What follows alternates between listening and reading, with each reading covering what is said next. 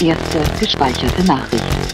Gestern, 15 Uhr 52. Hallo, guten Tag, hier ist die Oma. Die Oma, die Oma, die Oma ruft an.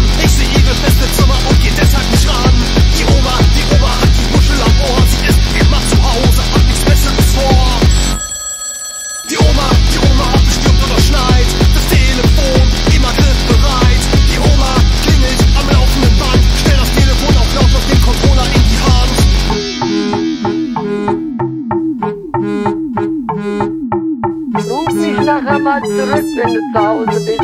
Bis dann, tschüss.